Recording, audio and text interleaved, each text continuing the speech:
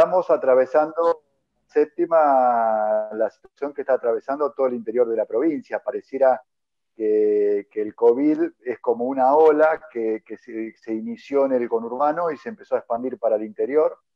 Eh, Olavarría y Saladillo son los dos distritos más complicados de la sección, los, dos en fase 3.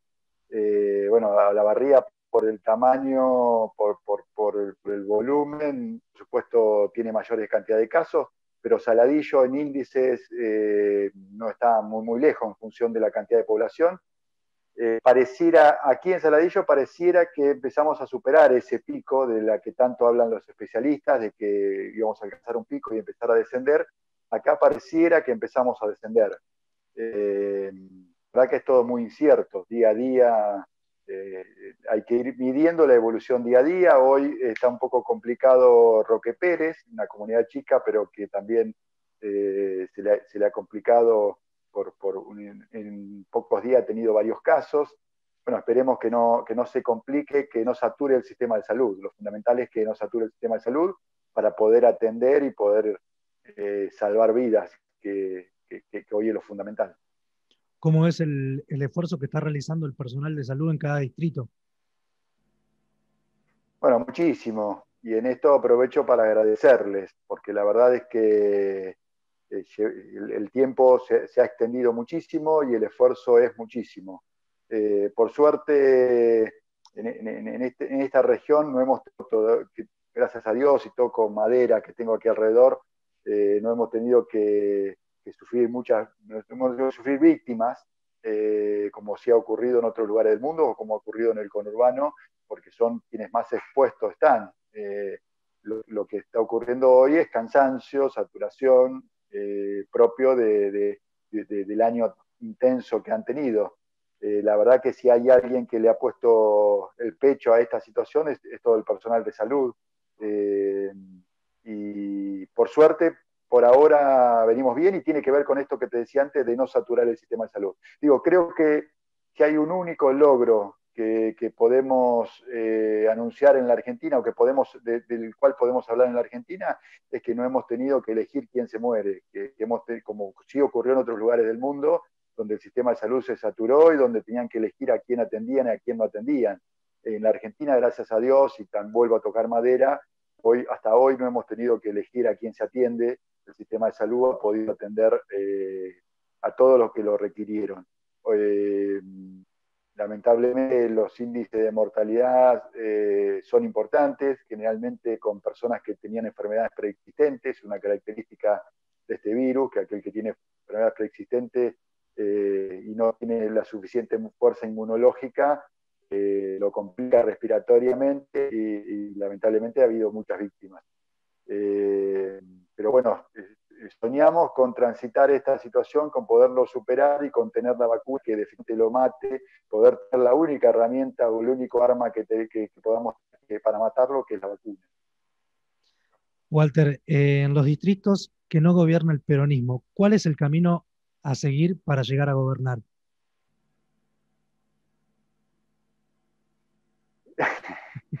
Pregunta amplia. Eh, a ver, eh, creo que Creo que la gente cuando elige su gobierno eh, deposita la confianza en quienes creen que le van a conducir su vida y quienes creen que mejor van a tomar decisiones en cuanto a su vida, porque el gobierno no es ni más ni menos que eso, que tomar decisiones todos los días, que eh, implica la vida de una comunidad. Eh, creo que ahí a la hora del voto influyen muchísimas cosas, cuestiones psicológicas, en, de, comunidad, de sociedad, influyen muchísimas cosas, pero para resumírtelo yo te diría que hay que tener una propuesta de gobierno y que genere la, confianza suficiente para tener una mayoría que, te acompañe.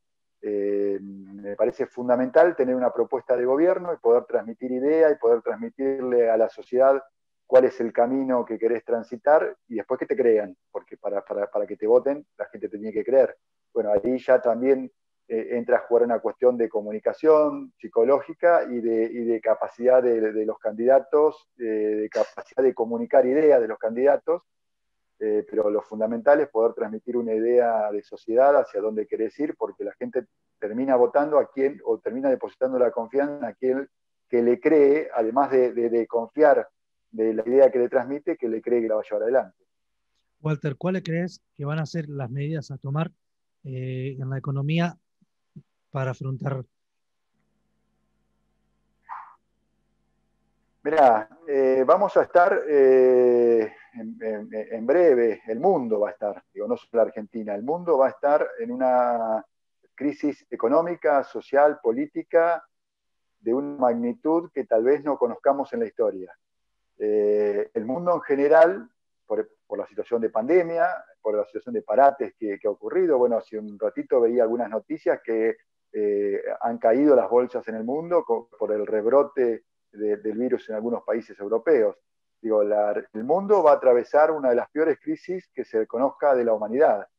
Y la Argentina en particular, por su situación de, vulnerabilidad, de índice de deudas que, tiene, que ya tiene, que ya tiene contraída, que por suerte a nivel nacional se ha refinanciado, se ha renegociado, eh, y esto da, aire, da respiro para poder pensar o planificar, situación que en la provincia todavía no se ha resuelto la provincia todavía no, hemos podido renegociar la deuda y por lo tanto todavía estamos en una situación eh, ahí eh, de incertidumbre. Eh, en la provincia estamos como aquel que se le agotó la cartera de crédito y no tiene la tarjeta de crédito para, ir al supermercado y no trata con, cuál ir al supermercado. Hasta que no se renegocie y se establezca un, un crédito o, cuotas para la tarjeta, no está la tarjeta para ir al supermercado. Creo que la situación para salir de esta Argentina, yo lo decía ayer en el marco de, un homenaje a Néstor Kirchner, creo que el camino que tiene que transitar la Argentina es el mismo camino que transitó, que transitamos allá por el 2003, que es el de recuperar eh, el mercado interno, una fuerte apuesta del, del Estado a través de la obra pública, a través de infraestructura. Yo decía, contaba ayer, Néstor Kirchner planteaba en el 2003, tenemos que tener 5 mil millones de superávit para construir 100 mil viviendas. Cada vivienda genera tres puestos de trabajo, vamos a generar 300 mil puestos de trabajo. Cada vivienda mueve la rueda de la economía local porque vende el corralón, vende el vidriero, trabaja el albañil, eh, mueve la economía local, eso genera crecimiento. Cuando crecemos, distribuimos y pagamos la deuda, decía Kirchner. En ese momento parecía una utopía, pero hoy no, ya no es una utopía porque Kirchner lo hizo. Bueno, creo que la Argentina de hoy tiene que transitar el mismo camino. Creo que tiene que haber una fuerte apuesta del Estado, y ya lo ha plasmado Alberto Fernández en el presupuesto nacional, una fuerte inversión en obra pública, alrededor del 3-4% del Producto Bruto Interno, y ojalá que podamos crecer, y aquí también depende de lo que pase a nivel mundial y lo que pase con la pandemia, pero digo, a partir de esa inversión de, poner en marcha el Estado se empieza a mover la economía. Cuando se empieza a mover la economía tenemos que lograr crecer, redistribuir, eh, generar desarrollo. Creo que el camino es el mismo.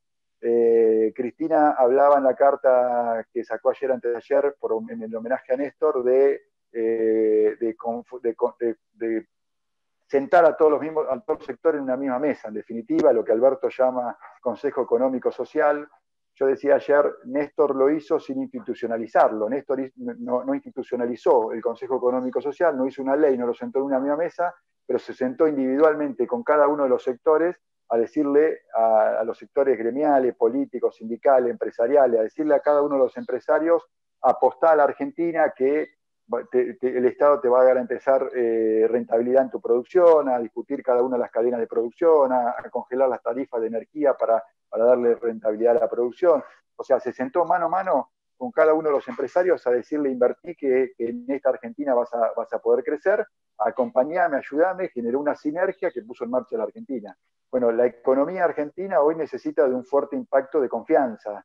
Hay alrededor de 250 mil millones de dólares guardados en, la, en, las cajas fuertes, guardados bajo el colchón, como se dice popularmente.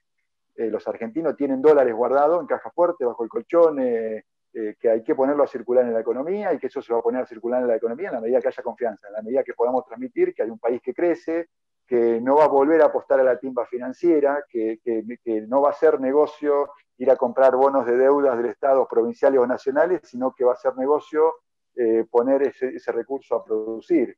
Bueno, esto es una visión del Estado que habrá que transmitirlo eh, con absoluta claridad para que haya inversiones, para poder volver a crecer y para que el Estado pueda invertir también a niveles de, un 20% del Producto Bruto Interno en la infraestructura que se necesita para crecer en una economía, en, distribución de energía, en rutas, en logística, eh, en toda la infraestructura que necesita una economía para crecer.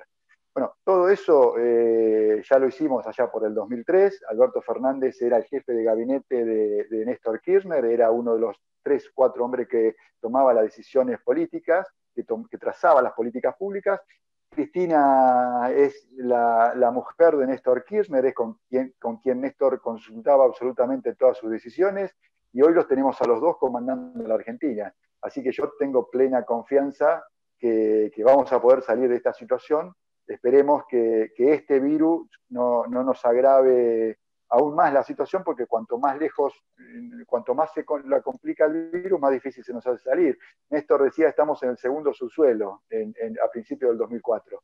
Eh, yo creo que esta pandemia nos va a dejar en el tercer o cuarto subsuelo. Walter, fuiste secretario privado de Néstor Kirchner. ¿Cómo pasaste el día de ayer? Sabes que fue un día, eh, ayer hice Zoom durante todo el día, porque estuve entre, entre homenajes y charlas con compañeros, terminé anoche tarde, tipo 11 de la noche, con compañeros de aquí de Saladillo. Eh, para mí es un día muy especial, yo lo, contaba ayer, para mí es un día muy especial, eh, para graficarlo de, desde dónde hablo, digo, yo era un concejal de Saladillo, en términos futbolísticos es estar jugando en la D, que de repente te llame eh, el director técnico de River y te ponga a jugar en primera. Eh, yo decía ayer, eh, Néstor Kirchner, para mí es todo. Es, mi padre en la política, yo era un pibe de 26, 27 años, hijo de, un trabajador rural, no venía de familia política, no tenía apellido reconocido, ingreso a la política por vocación propia, no por una cuestión familiar, o sea, era, un don, de, don nadie en la política, y de repente de un día para el otro terminé en la privada del presidente de la Nación, por lo tanto, todo lo, que, lo mucho o poco que soy se lo debo a Néstor Kirchner.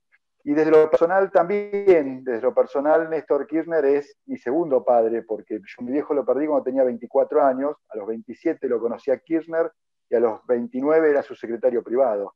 Y la verdad es que muchas veces eh, tenía charlas de padre, Néstor nos cuidaba, a mí, a Danielito Álvarez, los que éramos más jóvenes, los que teníamos 29, 30 años, éramos solteros y, estábamos en un espacio de poder al lado del presidente de la Nación y, siempre nos preguntaba dónde íbamos, con quién íbamos, que no saliéramos a la noche, no, nos cuidaban esas cosas. Digo, cuando compré el primer auto, a quien primero se lo conté fue a Néstor Kirchner.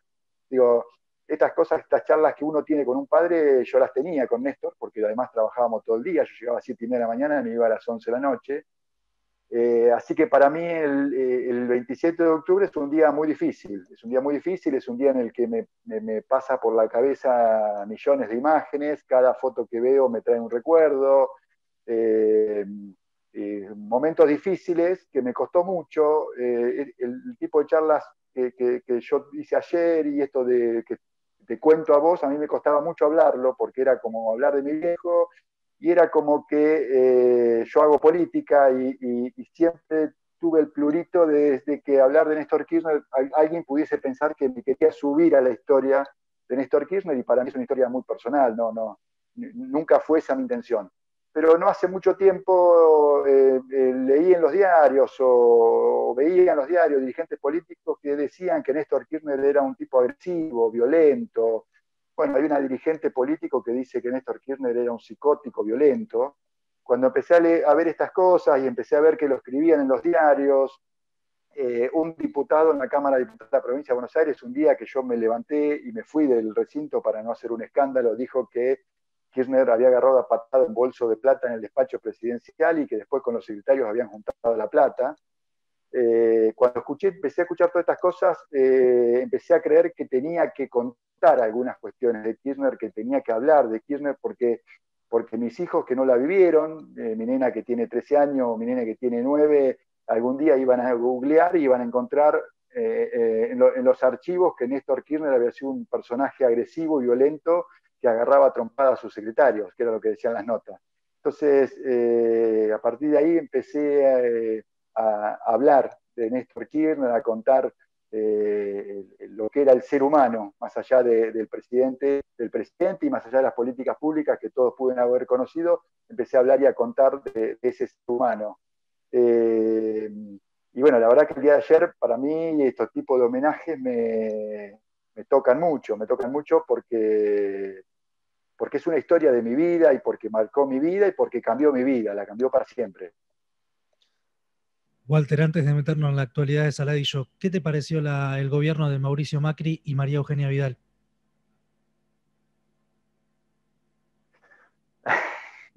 Bueno, recién te hablé de, la concertación, te hablé de dialogar con, todos los sectores.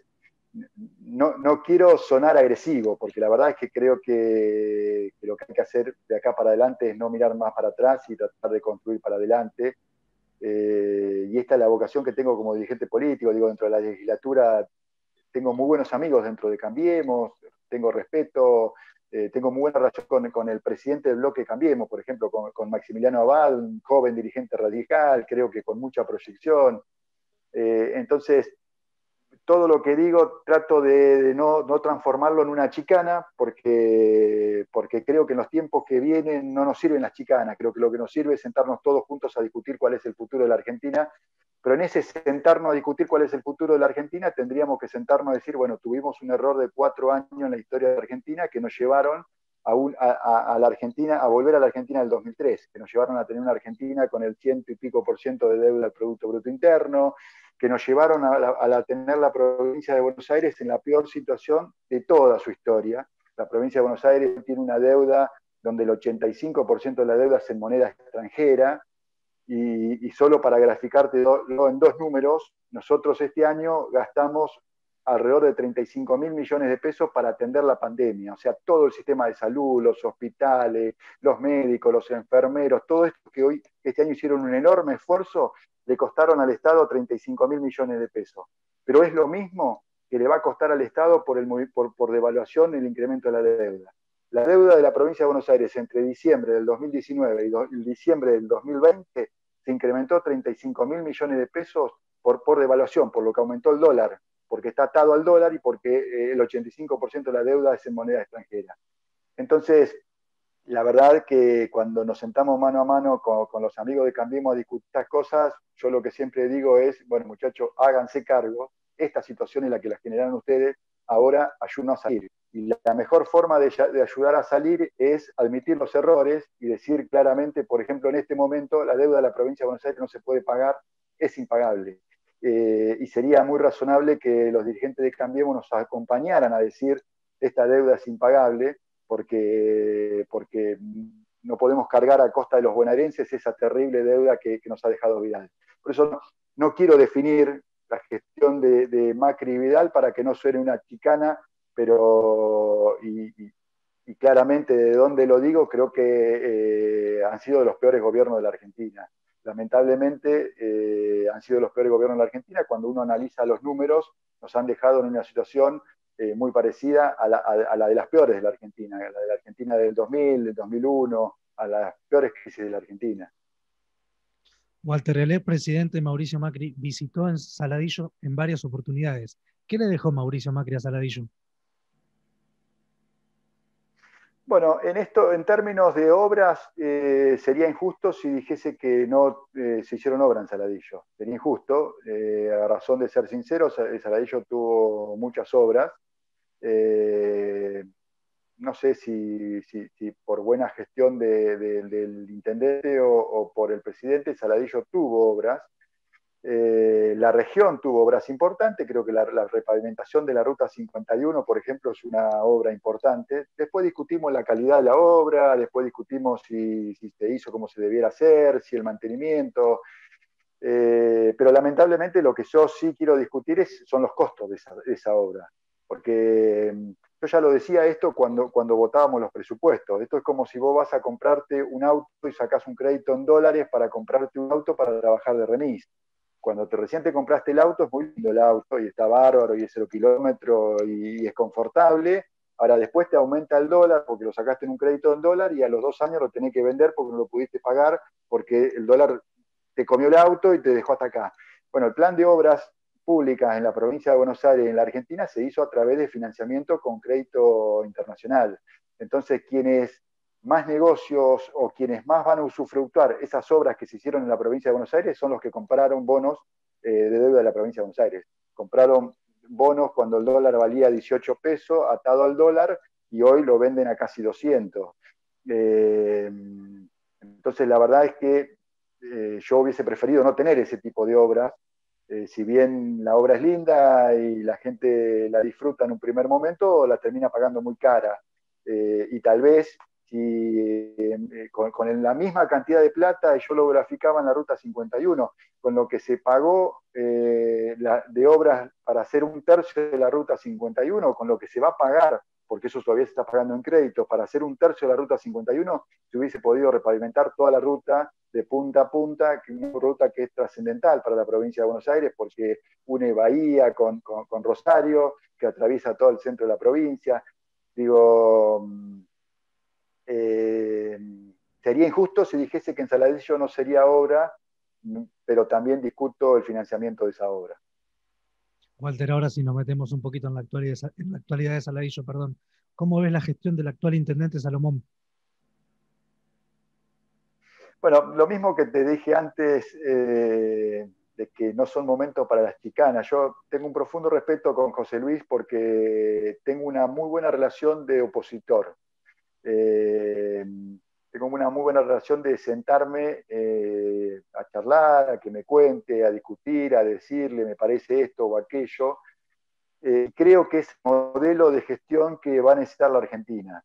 Este, este, modelo de gestión en Saladillo se aplicó durante la pandemia, cuando, cuando arranca la pandemia, Salomón nos convocó, a mí como legislador, a los concejales de opositores, a, integrar un espacio donde cada una de las decisiones se tomaba en ese espacio, si cerrábamos la ruta, si se abrían los comercios, si se cerraban los comercios, eh, se, se tomaba decisiones en ese espacio. Si bien nuestro voto era solamente la presidenta del bloque, nosotros estábamos al tanto, podíamos opinar dentro de ese espacio.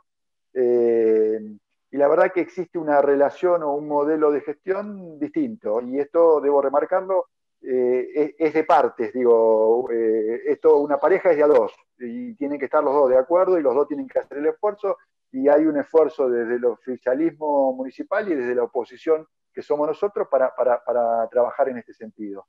Pero me parece que en esto es fundamental quien eh, tiene la responsabilidad de ejercer el gobierno, que en este caso es José Luis Salomón.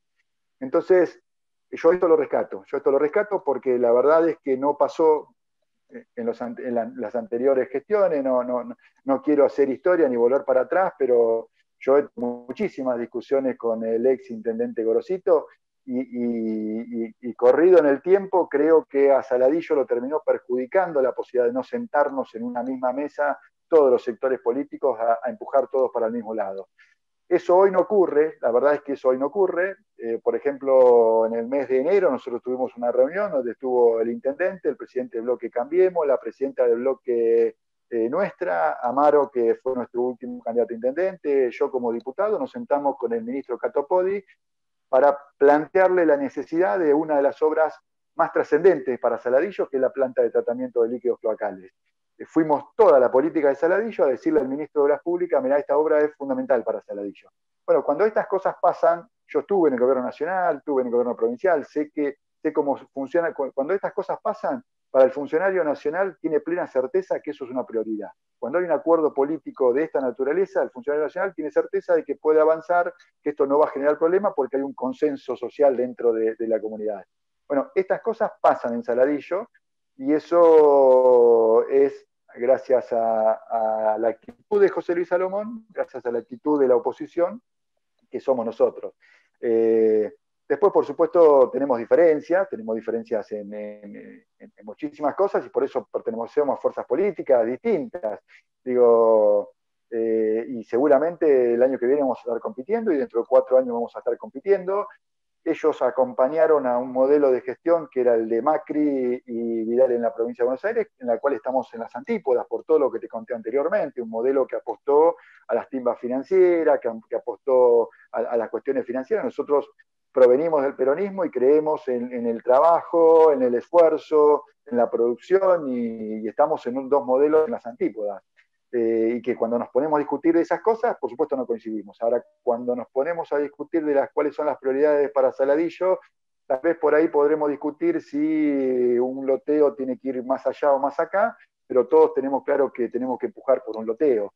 Y bueno, en estos días, hoy, por ejemplo, hemos tenido una nueva noticia, se está haciendo un,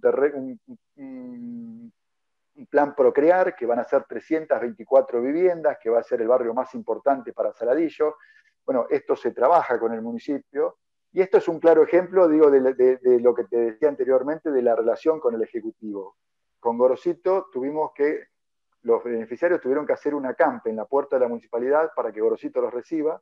Tuvimos que llevarle y casi forzarlo a firmar un convenio yo personalmente le llevé el convenio con el ANSES y le dije, mira, acá está el convenio, el ANSES te va a dar la plata para comprar los lotes, si lo querés firmar, lo firmás, si no lo firmás, yo voy a decir públicamente que la plata está, que el ANSES te la da y que vos no la querés. De esa forma se firmó el convenio, se compró el macizo, se hizo la subdivisión y hoy existen 324 lotes de terreno. Bueno, en el medio Salomón le puso infraestructura, hoy está trabajando con un nuevo loteo para poner nuevos lotes para el procrear. Digo, estas son las cosas y un ejemplo claro y concreto, lo que te decía anteriormente, que cuando se coordina, cuando se empuja para el mismo lado, eh, termina siendo beneficio para la gente. Eh, y en esto debo ser sincero con José Luis, eh, tenemos otra relación muy distinta a la que teníamos con la anterior gestión municipal. Walter, ¿qué balance haces de la última elección del peronismo encabezado por Amaro Sarlo? Bueno, para nosotros la mejor elección de la vuelta a la democracia. Por supuesto que, nos, llena de, satisfacción, de orgullo, eh, nos queda el sabor amargo de que no alcanzó. Eh, pero bueno, esto es una situación característica de Saladillo. Cuando uno mira los resultados de la elección, cuando uno dice, cuando dice, bueno, ¿cuánto sacó el peronismo en Saladillo? 44%. Ah, bueno, gobiernan el municipio. No, no, en Saladillo con 44% no, no gobernás el municipio en, cualquier otro distrito de la provincia de Buenos Aires con 44% podría llegar a ganar cómodo una elección, en Saladillo no. Eh, y bueno, eh, sabemos que dimos un paso muy importante, eh, mirando no la foto, sino mirando la película, el peronismo de Saladillo perdió cuatro elecciones frente a Carlos Gorosito, donde Gorosito sacaba el 65% de los votos. Eh, en el 2007 yo saqué el 40% de los votos y Amaro en la última elección sacó el 44% de los votos. Todavía no nos alcanza para gobernar, pero estamos convencidos que, tenemos una construcción política, que vamos a seguir trabajando en este sentido y que estamos convencidos que en algún momento vamos a hacer gobierno en Saladillo. Probablemente sea en el 2023 y si no es en el 2023 insistiremos en el 2027, pero digo, el crecimiento de, la construcción política nos lleva a convencernos de que vamos a hacer gobierno. ¿Lo ves a Amaro Sarlo como intendente? Mira, lo veo a Amaro como un dirigente con una enorme sensibilidad y capacidad. Eh, la verdad que me hubiese encantado que fuese intendente ahora, que en este momento estuviese siendo intendente. Eh, se nos escapó por poquito, estábamos convencidos que podía ser intendente. Eh, ojalá esto lo pueda consolidar y pueda llegar a ser intendente.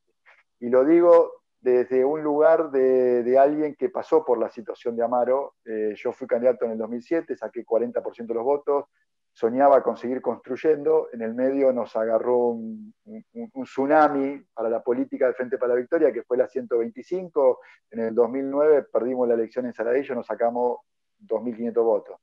Eh, digo, ojalá podamos consolidar eh, todo eso que se construyó. Amaro, sin lugar a dudas, es un dirigente político que puede, que puede encabezar, como ya lo hizo eh, ese proyecto, pero bueno, no, no, me quiero adelantar a los tiempos.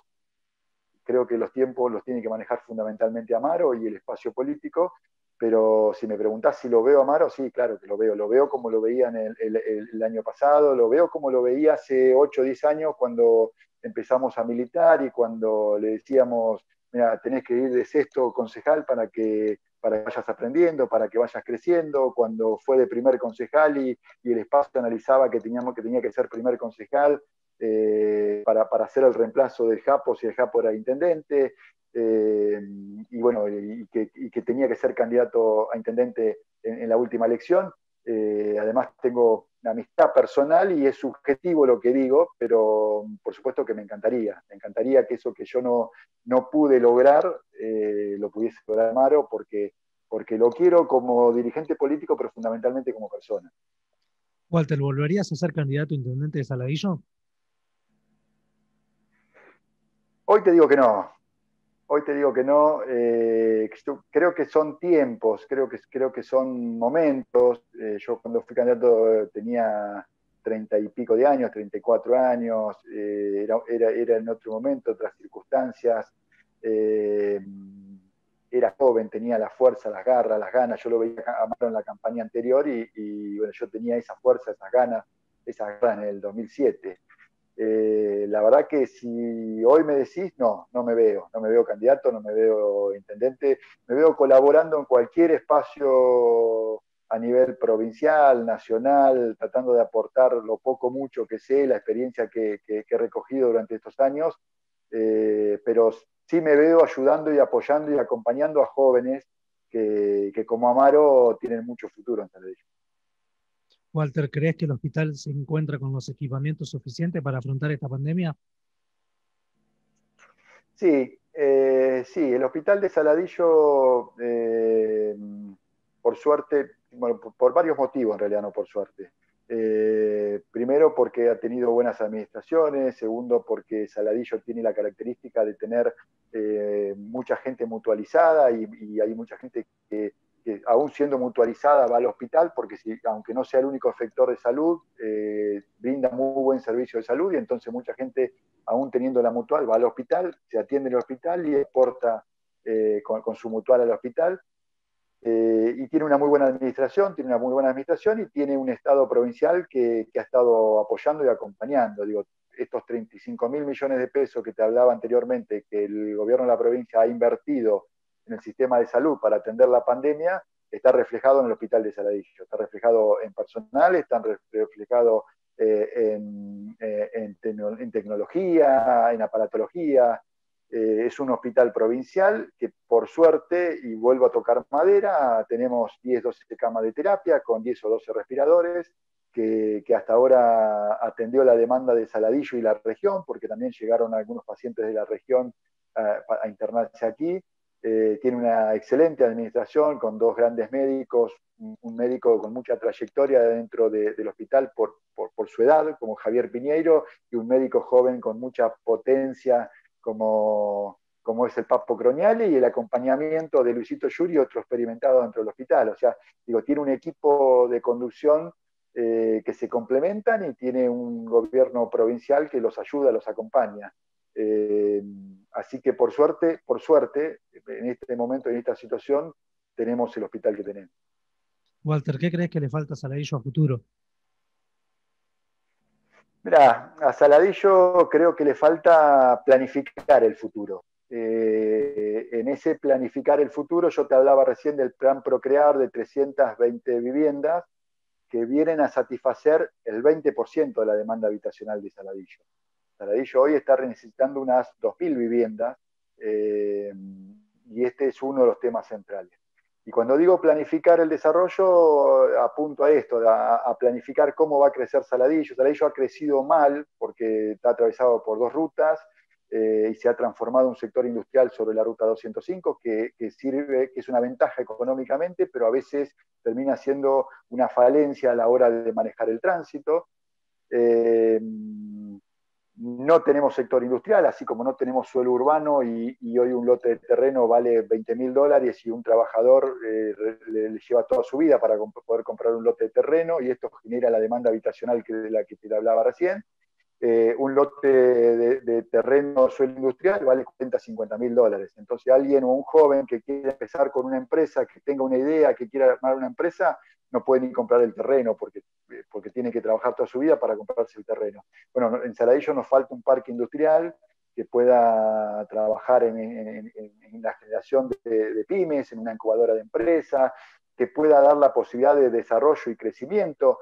Eh, un solo ejemplo, el frigorífico Angelani está, quedó instalado casi en pleno centro de Saladillo y necesitaría trasladarse, necesitaría ampliar eh, el frigorífico para, poder ampliar su producción y poder vender más, porque es una producción de excelente calidad y tiene mercado para hacerlo, pero lamentablemente no tiene un suelo industrial y lamentablemente eh, no tiene definido dónde se puede radicar, porque puede terminar radicándose en un lugar que dentro de 10 años le vuelva a pasar lo que ya le pasó, que dentro de la planta urbana y tenga que, volverse a trasladar.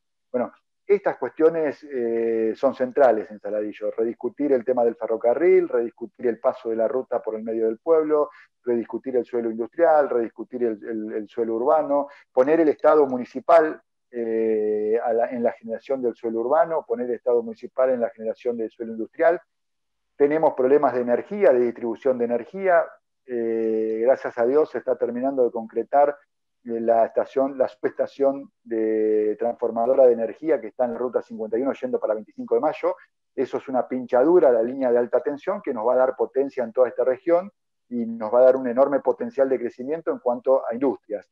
Hasta hoy Saladillo tiene dificultades para tener potencia para erradicar industrias. Bueno, a partir de tener esa pinchadura, a partir de tener esa subestación y si tuviésemos un parque industrial, podría ser eh, un suelo fértil para la, instalación de industrias que, le ponga valor agregado a las producciones de la región y que generen puestos de trabajo. Bueno, estas son cosas que a Saladillo le faltan, que le falta planificarlo, que le falta pensarlo, que le falta fijarlo como políticas de Estado. Walter, bueno, en primer lugar agradecerte por esta comunicación. Me alegro de verte después de tantos años, ha sido un placer. Y para finalizar, pedirte un mensaje para la comunidad de Saladillo y para los distritos de la séptima sección. Bueno, eh, un poco todo lo que te venía diciendo antes, que, que, agradecerles en primer lugar, agradecerles a todos, a los sistemas de salud, a la policía, seguridad, voluntarios, defensa civil, a todos los que han hecho un enorme esfuerzo para cuidarnos a todos, pero a su vez agradecerle a cada uno de los ciudadanos, porque creo que si el sistema de salud no nos explotó y no tuvimos que elegir a quién atender y a quién no atender, fundamentalmente es por la enorme responsabilidad de los ciudadanos que se cuidaron y cuando se cuidaron nos cuidaron a todos. Lo segundo, pedirles que se sigan cuidando, que todavía no superamos esta situación, que hasta que no esté la vacuna seguimos teniendo riesgo, que pueda brotes, lo estamos viendo en Europa, que nos sigamos cuidando, que sigamos manteniendo los protocolos. Eh, y lo tercero, que tengamos fe y expectativa, que tengamos expectativa de que, de que vamos a salir, que la Argentina, los argentinos ya hemos demostrado que cuando generamos esa sinergia, esa sinergia que ponemos cuando jugamos una final del Mundial, cuando jugamos una final de básquet, cuando, cuando vemos un tenista argentino jugando por el mundo una final de tenis, digo, esa sinergia la vamos a necesitar, que, la pongamos todos juntos para sacar a esta Argentina para definitivamente construir un país en el que, en el que nos, nos, sientamos dignos de vivir. Este es un país hermoso, es un país en el que tenemos todo, que tenemos tierra productiva, que tenemos agua, que tenemos... Es un país tal vez de los mejores del mundo. Ojalá eh, podamos salir de esta situación y podamos construir la felicidad del pueblo. Más allá de después de las diferencias que podamos tener político-partidarias, eh, ojalá el año próximo podamos estar todos empujando para el mismo lado para salir de esta difícil situación, que sin lugar a dudas va a ser la más difícil de la historia de la Argentina.